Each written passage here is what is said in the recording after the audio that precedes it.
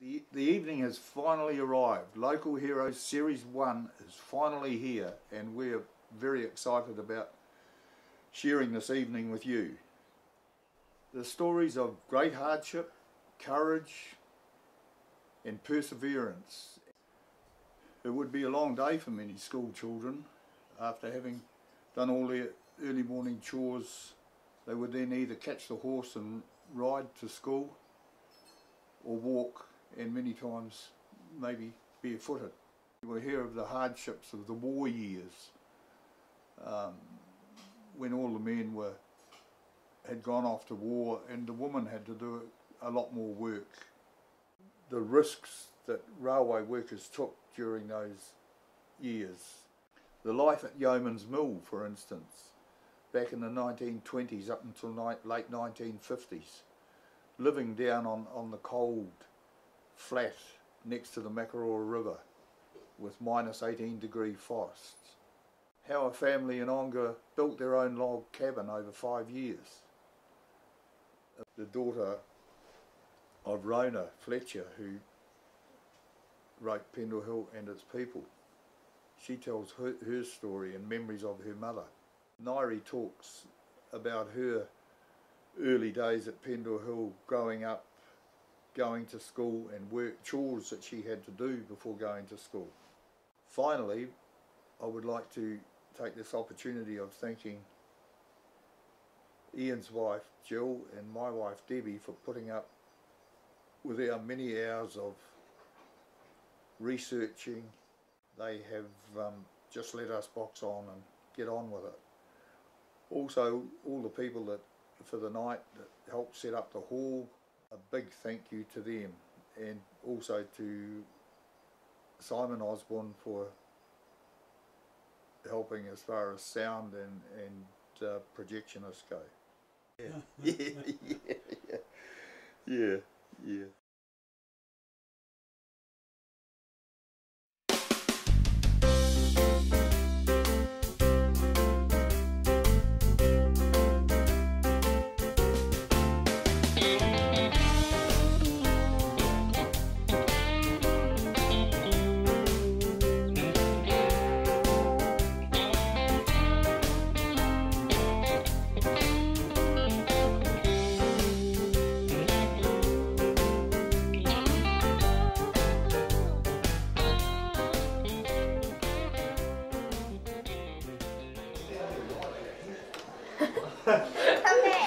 Welcome to a video evening of storytelling and true lies, Local Heroes Series 1 at the Onga Onga Town Hall.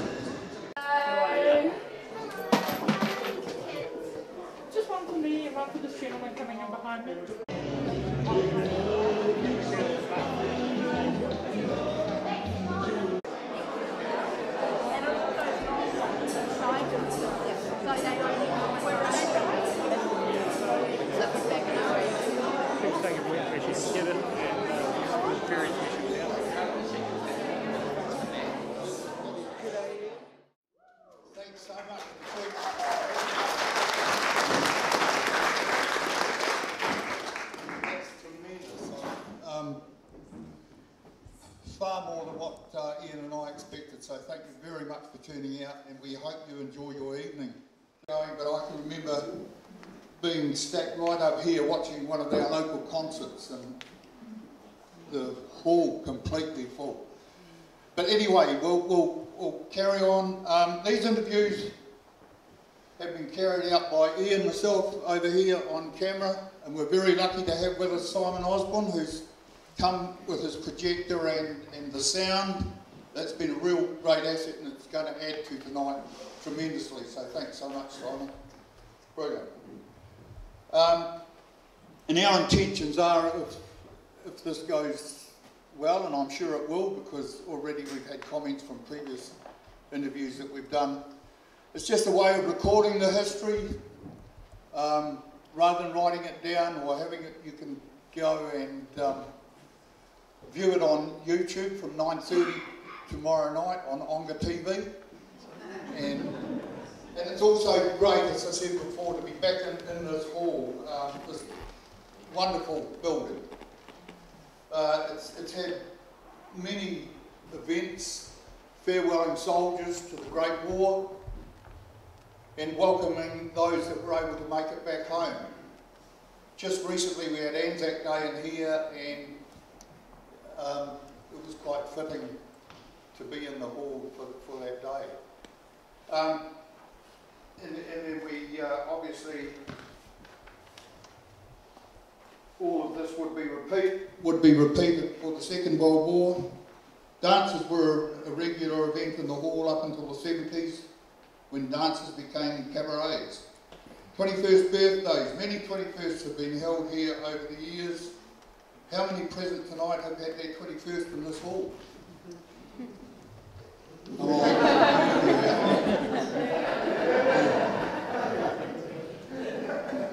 and mostly they were community events. Everyone knew everyone in the village. Concert, concerts were also a regular occurrence. That the older community had their their very own concert party with some hilarious characters.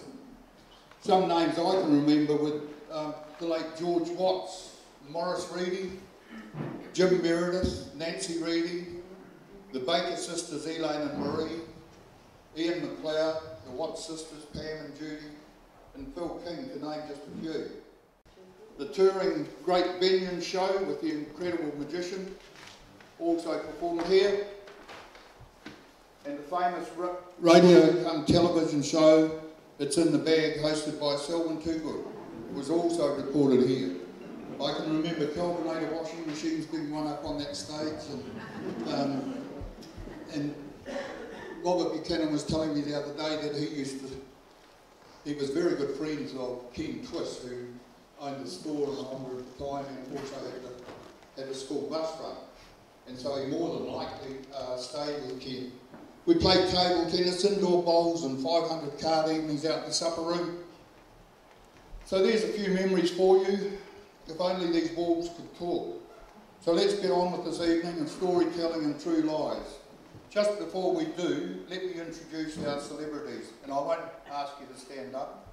I know you're all comfortable in your seats, but if you can just raise your hand and um, people will know where you are. And try and catch up with these folk later on. So we've got Rachel Hornblade, a Bibby over here. Look at her, 93 and she's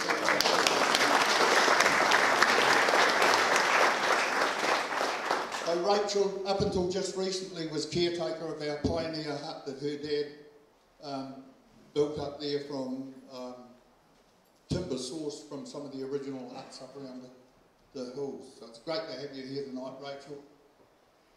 Uh, Robin Matthew over here as well. Robin's a real local identity and in, in farm just down on, um, what do they call it now? Herrick Street, Taylor Road. Uh, Dick Shaper, where's old Dick over here? You'll enjoy Dick's um, Been a long time on the railway, so he's got some real stories to tell that I'm sure you'll enjoy. Nairi Nash, Nay Nairi was a, a, a, member of the last family to ever live permanently at Pendle Hill. And Cassandra, where's Cassandra Buchanan over here?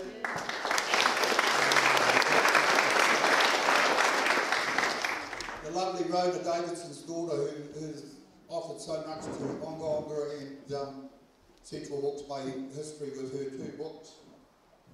Uh, Pauline's not able to, Pauline Mackey's not able to be here to, tonight. She's been unwell and unfortunately she can't be here. So our thoughts go back to her. and Hopefully when she's up and about she'll be able to um, watch it on, on YouTube.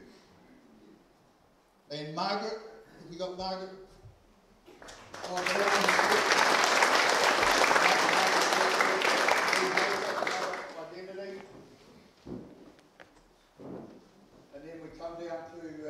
two couples, Peter and Shirley Rayner up the front here.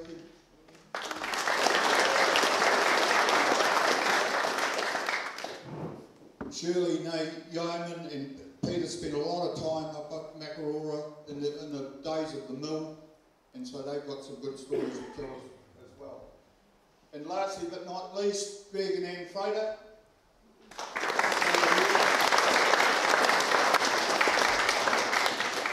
I'm sure you'll really enjoy this story as, as well, and, we're grateful for Greg and Ann that we now have in our ownership the Historical Society, the Coles factory that we're um, is not far away from being completed, and um, that, that's going to be a great feat. So that's something to look forward to. Hey, I'm, I've gone on long enough. We want to get on with this and enjoy.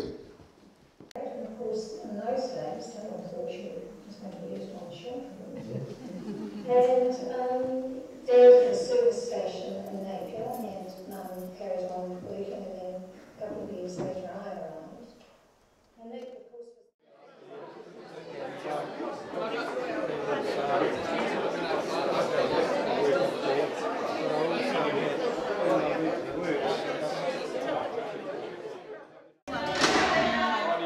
Thank you. Okay, so how do you think tonight went? Um, I think it went really well. I think all the people that were on the screen did really well. And I think my pop especially did really well um, because I know a lot of people can be really nervous when they're talking. So I think they did really well on that. Okay, and how many people do you think came tonight? Um, well, we had about like 60 tickets left at the end, and there was 420, uh, 240. So I think overall at least 150 people came. Probably, I really enjoyed all the ones I did get to watch because then I had to come out here and help in the kitchen. But my favourite one was probably Dick's because it made me laugh a lot, especially part when he said something along the lines of when he was in the army, I think it was, and he goes, and then the car just goes boom, and it was really funny. And it was probably my favourite part. Yeah, I really enjoyed Dick's. So probably Dix as well when he. I didn't really understand most of them, but it was the same with him saying like when he was in the army and he just went, it was zoom and it was yeah. Anyway, all in our battle dress jackets, middle of summer. They carted us in the army truck from Waiouru and deposited two of us on every little bridge up, up the desert road. And then we had to salute the Queen Mother when the cavalcade came through. Anyway, we were there all day, and when she did come through, it was just, she just came Oh, it's coming, coming, sorry, up there. We were saluting, and the car just went straight past us, not even a toot, a wave, or anything. It's really funny. Same as the girls, my favourite part was next when he was in the army. then the car just went boom. Mine probably would be my Pop's brother's one because it, when he said he got kicked off the bus quite a few times, oh, yeah. I found that quite funny. Yeah.